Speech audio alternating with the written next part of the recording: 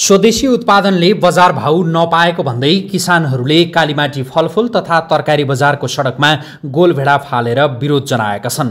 स्वदेशी उत्पादनले बजार भाउ नपाउने तर विदेशी उत्पादनलाई महँगोमा किनबेच गर्ने प्रवृत्तिका विरुद्ध किसानहरू आन्दोलित भएका हुन्। आफूहरूले उत्पादन गरेको गोलभेडा दुई रुपियाँ किलोमा बेच्न समेत हम्मे भएको तर भारतीय गोलभेडाको थोक मूल्य नै पैँतालिस रुपियाँ राखिएको भन्दै उनीहरूले सडकमा गोलभेडा फालेका हुन्। कालीमाटी फलफुल तथा तरकारी बजारको सडकमा गोलभेडा फालिएपछि कालीमाटी बजार व्यवस्थापन समितिले इसका भेटर लगाएर फालिएका गोलभेडा पन्छाएको थियो। अहिले देशको सबैभन्दा ठुलो र मुख्य तरकारी बजार कालीमाटीमै नेपाली गोलभेडाको थोक मूल्य आठ रुपियाँ प्रति किलो छ। यसको न्यूनतम मूल्य प्रति किलो छ रुपियाँ र अधिकतम मूल्य दस रुपियाँ कायम रहेको बजार विकास समितिले जनाएको छ। समितिको वेबसाइटमा राखिएको तरकारीको मूल्य सूचीमध्ये सबैभन्दा सस्तो नै स्वदेशी गोलभेडाको मूल्य छ। कालीमाटी तरकारी बजारमा दुई प्रकारका गोलभेडा बिक्री वितरण हुँदै आएका छन्। त्यहाँ ठुलो गोलभेडा भारतीय र सानो गोलभेडा टनल नेपाली गरी दुई प्रकारको गोलभेडा बिक्री भइरहेको छ। कालीमाटी लगायत देशका अन्य स्थानमा स्वदेशी गोलभेडाले न्यून मूल्यमा समेत बजार नपाइरहेको अवस्थामा भारतीय गोलभेडा भने प्रति किलो पैँतालिस रुपियाँमा बिक्री भइरहेको छ। नेपाली उत्पादनलाई प्रवर्धन गर्न लाग्नुपर्नेमा सरकार र ठुला व्यवसायीहरूले भारतीय उत्पादनको प्रवर्धन गर्ने गरी काम गरेको किसानहरूको आरोप छ। केही समय अघि चितवनका कृषकले पनि गोलभेडा सडकमा फालेर विरोध जनाएका थिए।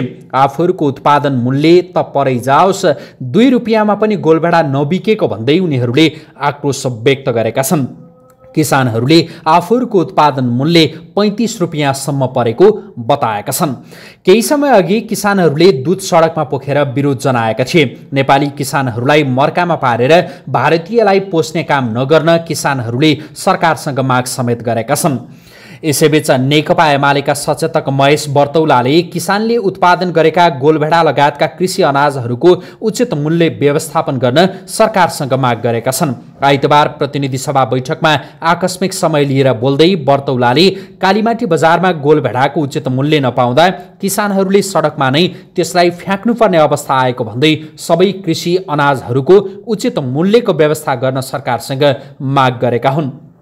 संसदमा सचेतक बौतौलाले भने हाम्रो देश नेपाल कृषि प्रधान देश हो। हामी बैठकमा सहभागी भइरहेको बेलामा यति नै खेर सयौँ किसानहरू काठमाडौँको कालीमाटीमा उपस्थित भएर उहाँहरूले आफूले उत्पादन गरेको हजारौँ केजी टमाटर लगायत कृषि उत्पादनहरू कालीमाटी चोकमा सडकमा फ्याँकेर आन्दोलन गरिरहनु भएको छ। उहाँहरूले निकै धेरै मात्रामा नेपाली किसानहरूले तरकारी उत्पादन गरिरहनु भएको छ गोलभेडा उत्पादन गरिरहनु भएको छ।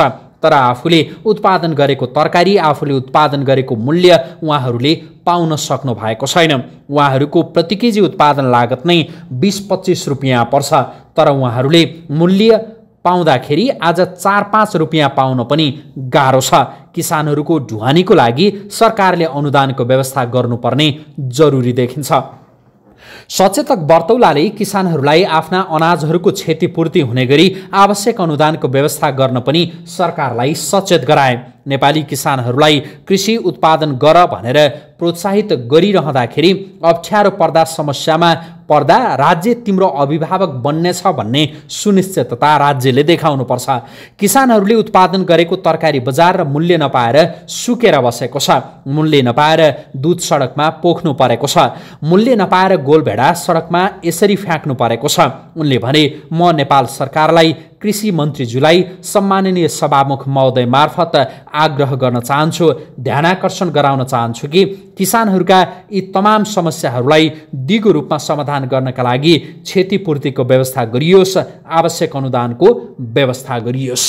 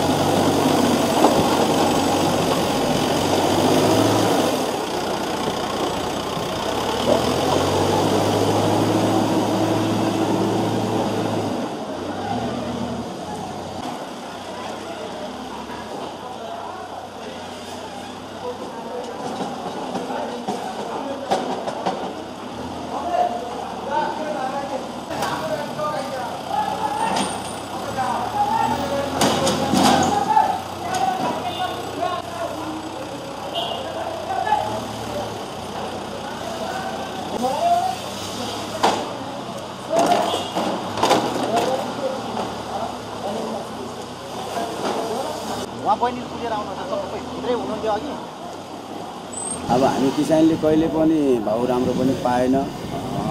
हामीले चाहिँ न सरकारबाट न तपाईँको लोन पायो। बिना धिरेको लोन न हाम्रो उत्पादन राम्रो भयो। हामीले उत्पादन गऱ्यो यस्तै हुन्छ। कहिले अब दुई रुपियाँ तिन रुपियाँमा जान्छ हाम्रो फाइनेन्सबाट पैसा निकाले अठार पर्सेन्ट पैसा निकालेर हामीले चलन गऱ्यो त्यो ब्याज तिर्नै नसक्ने हुन्छ। अब कुल दुई रुपियाँ किलो जान्छ। कसरी हामी कसरी अघि बढ्ने कसरी हामी माथि जाने हामी किसान कहिले पनि माथि नगएको कारणले हामीले गरेको उत्पादन जहिले पनि दुई रुपियाँ तिन रुपियाँ भएको कारणले चाहिँ हामी आन्दोलनमा उत्रिनु बाध्यता भयो। जति गर्दा नि हाम्रो अब बाहिर बाहिर आइरहेको माल चाहिँ तपाईँको राम्रोसँग बिक्री भइरहेछ। अब मान्छेले यहाँको समितिले पनि भन्छ। अब तपाईँको हाम्रो यहाँ गरेको उत्पादन चाहिँ राम्रोसँग बेच्नु सक्दैन अरे बाहिरबाट आएको सामान चाहिँ राम्रोसँग के अरे बेच्नु सक्छ अरे हाम्रो पनि हामीले गऱ्यो त्यो चिज लगायो भने त्यो सलाद खाने गोलबेर लगायो भने हामीले चाहिँ साइज मिलेन यो गोलबेर हामीले बेच्नु सक्दैन भनेर हामीलाई चाहिँ फेरि आउँछ। अनि हामीले यही सम्झना तपाईँको सिर्जना सर्वश्रेष्ठ लायो भने चाहिँ तपाईँ यसै गरी जान्छ। जसरी पनि उनीहरू माथि छ हामी किसानी तल तल छौँ। हामी कसरी उत्रिने होला कसरी माथि आउने होला हाम्रो पनि बालबच्चा पाल्नुपर्छ। हामीले सरकार बाटामा गयो भने नगरपालिकामा गयो भने ओरामा गयो भने हामी पनि किसानी हो। हामीलाई पनि केही रकम अनुदान सबैले पाइरहेछ भने हामीले पनि पाउनु वास्तविक किसान त हामी हो हामीले पाउनुपर्ने खै त भन्दाखेरि चाहिँ तपाईँहरू बाहिरको मान्छे हो तपाईँहरू आफ्नो ओरामा गएर गर्नुभयो भने तपाईँहरूले पाउनुहुन्छ नत्र हाम्रो ओरामा आएर तपाईँले गरेर चाहिँ तपाईँहरूले अनुदान पाउनुहुन्न भन्नुहुन्छ। अनि किसान गरेछ सबै बाहिरको मान्छे आएर गरेछ काठमाडौँमा। अब यहीँको स्थानीयले गरेकै छैन। अब यहाँ बाहिरको मान्छेले अनुदान दिनु हुँदैन भन्नुहुन्छ। अनि हामी किसान कसरी माथि आउने? हामी गरेको उत्पादन जहिले पनि दुई रुपियाँ तिन रुपियाँ किलो जान्छ। अनि कसरी हामी चाहिँ बालबच्चा पाल्ने कसरी चाहिँ हामी उँभो लाग्ने? फाइनेन्सको आफ्नो पैसा हुँदैन।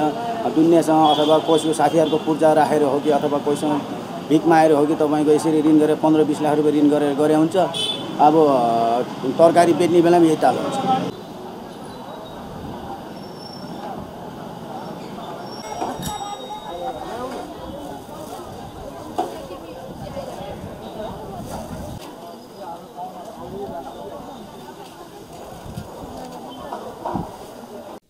सम्माननीय सभामुख महोदय हामी प्रतिनिधि सभाको बैठकमा छौँ। हाम्रो देश नेपाल कृषि प्रधान देश हो। हामी बैठकमा सहभागी भइरहेको बेलामा यति नै खेर सयौँ किसानहरू काठमाडौँको कालीमाटीमा उपस्थित भएर उहाँहरूले आफूले उत्पादन गरेका हजारौँ केजी टमाटर गोलबेडा लगाए कृषि उत्पादनहरू कालीमाटीको चोकमा सडकमा फ्याँकेर उहाँहरू आन्दोलन गरिरहनु भएको छ। उहाँहरूले निकै धेरै मात्रामा नेपाली किसानहरूले तरकारीहरू उत्पादन गरिरहनु भएको छ गोलभेडा उत्पादन गरिरहनु भएको छ तर आफूले उत्पादन गरेको तरकारी आफूले उत्पादन गरेको मूल्य उहाँहरूले पाइरहन सक्नुभएको छैन। उहाँहरूको प्रति केजी उत्पादन लागत नै करिब बिस पच्चिस रुपियाँ पर्छ। सामान्य सभामुख महोदय तर उहाँहरूले मूल्य पाउँदाखेरि आज चार पाँच रुपियाँ त्यति पनि पाउन गाह्रो छ। किसानहरूको ढुवानीको लागि सरकारले अनुदानको व्यवस्था गर्नुपर्ने जरुरी देखिन्छ। त्यति मात्रै होइन किसानहरूको उत्पादन लागत बराबर बजार नपाउँदा बजारको सुनिश्चित नहुँदा सरकारले बजारको सुनिश्चितताको दायित्व लिनुपर्छ। मूल्य प्राप्त नगर्दाखेरि कम्तीमा पनि समर्थन मूल्य बराबर क्षतिपूर्तिको सुनिश्चितता सरकारले गर्नुपर्छ। तब मात्र नेपाली किसानहरूलाई कृषि उत्पादन गर भनेर प्रोत्साहित गरिँदाखेरि राज्यले अप्ठ्यारो पर्दा समस्यामा पर्दा राज्य तिम्रो अभिभावक बन्छ बन्नेछ भन्ने सुनिश्चितता त्यो राज्यले देखाउनु पर्छ त्यसकारण जसरी किसानहरूले उत्पादन गरेको आज बन्दाहरू कोबीहरू अन्य तरकारीहरू बारीमा बजार नपाएर मूल्य नपाएर सुकेर बसेको छ दुध किसानहरूले मूल्य नपाएर सडकमा पोख्नु परेको छ गोलभेडा किसानहरूले मूल्य नपाएर यसरी सडकमा आज फ्याँकिरहनु परेको छ। म नेपाल सरकारलाई कृषि मन्त्रालय कृषि मन्त्रीज्यूलाई सम्माननीय सभामुख महोदय मार्फत म आग्रह गर्न चाहन्छु ध्यान आकर्षण गराउन चाहन्छु किसानहरूका यी तमाम समस्याहरूलाई दिगो रूपमा समाधान गर्नका लागि क्षतिपूर्तिको व्यवस्था गरियोस् आवश्यक अनुदानहरूको व्यवस्था गरियोस्। म यो माग गर्न चाहन्छु ध्यान आकर्षण गराउन चाहन्छु। धन्यवाद।